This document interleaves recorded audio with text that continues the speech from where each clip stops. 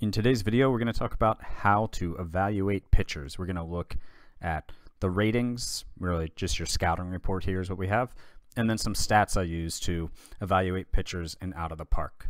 Uh, developing pitching, uh, having quality pitching, I find much more challenging than having a quality lineup. Uh, so, being able to evaluate pitchers and possibly uh, maybe identify undervalued pitchers or the type of value pitchers you want to target uh, is really important. Um, drafting pitchers to develop is really difficult.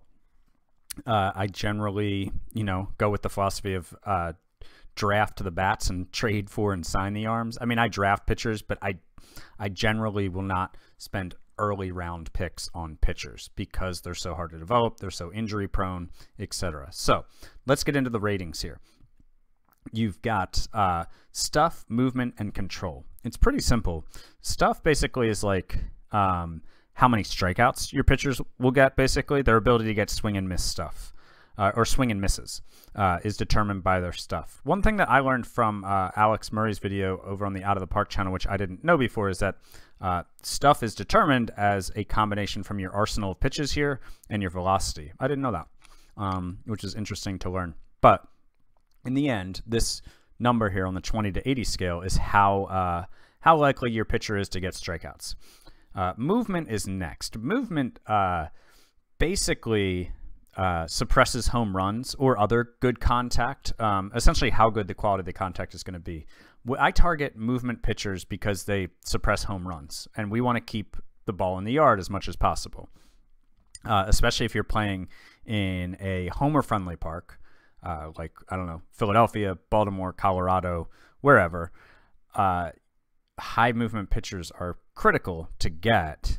Um, but really, I think it's good to suppress home runs anywhere you can get. Obviously, avoiding contact with stuff is really important, but so is the quality of that contact when it's made.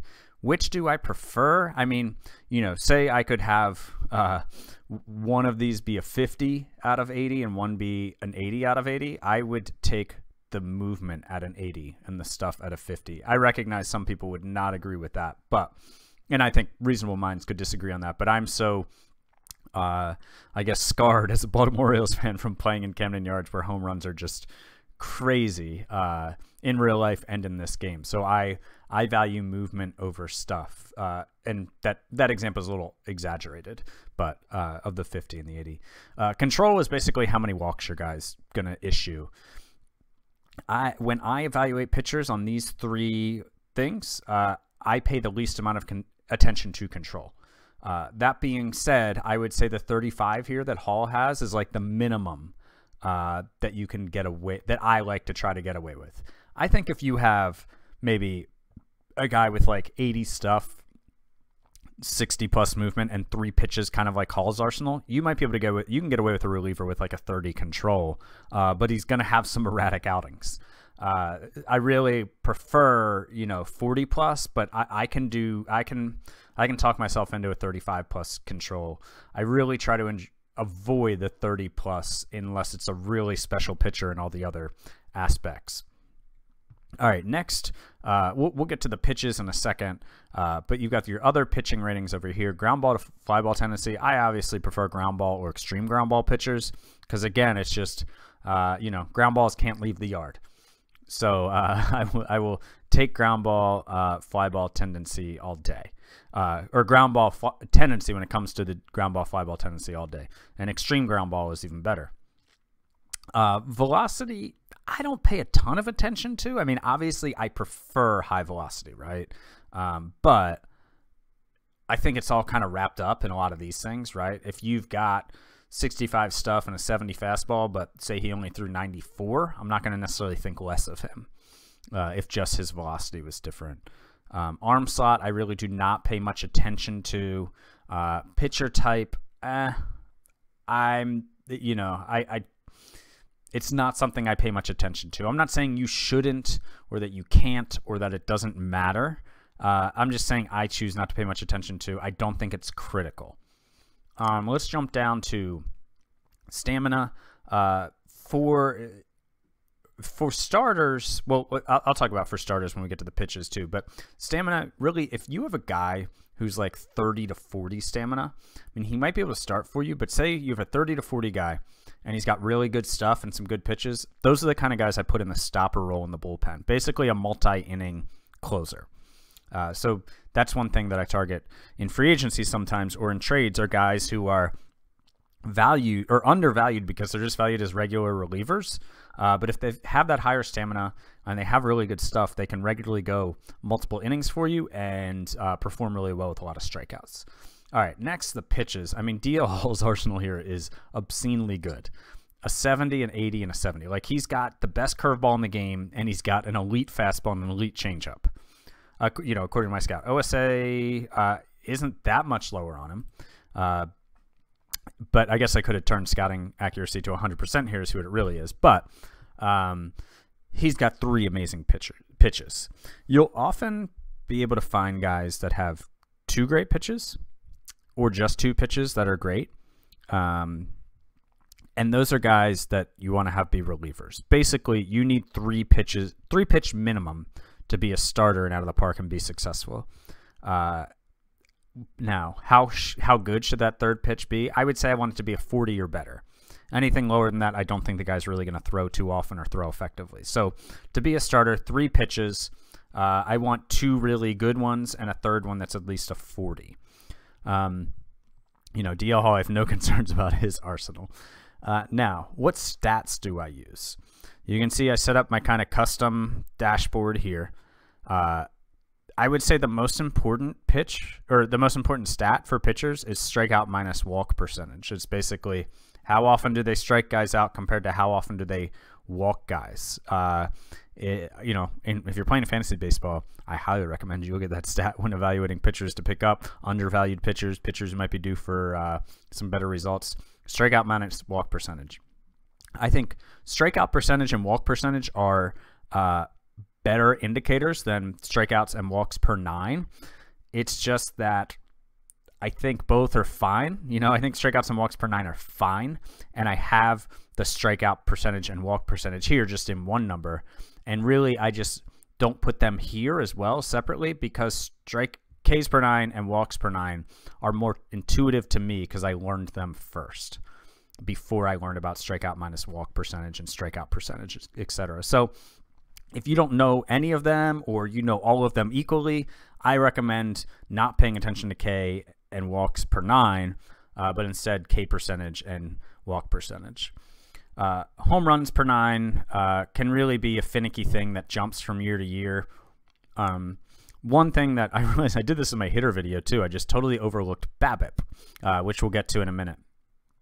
Uh, I like to look at ERA plus and FIP minus.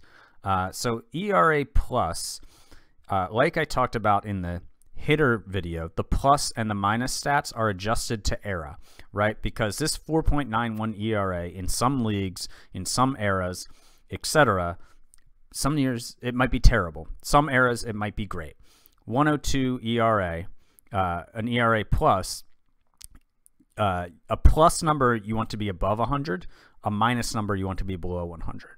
So ERA plus, so his ERA essentially is 2% better than the league average. His FIP uh, is actually 8% worse than the league average. Or it could be that the league average is 8% better than him, which are two different things, but I think you get the point. And I can't remember off the top of my head which one it is. But basically, his FIP is 8% worse than league average at 5.45. Uh, and his ERA at 4.91 is two, 2% better than league average. So he's around league average in ERA, a little bit worse in FIP. So what is FIP? It's fielding independent pitching. It takes balls in play out of the equation. It uh, takes the, the events that a pitcher, quote unquote, has control over. So uh, home runs, unintentional walks, hit by pitches, strikeouts, and it then takes that number and normalizes it to ERA. So it takes this number and then it turns it into an ERA like number. So it's like an ERA indicator of how the pitcher does in the outcomes that he can control. Now, SIERA, I think, is new to Out of Park this year. I haven't used it yet, but I'll use it this year.